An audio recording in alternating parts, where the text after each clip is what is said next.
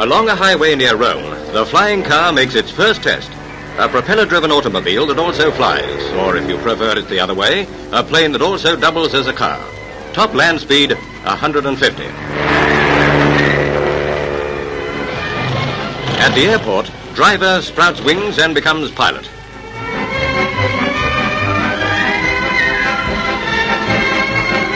The wings unfold to a span of 12 yards, and presto, it's a plane.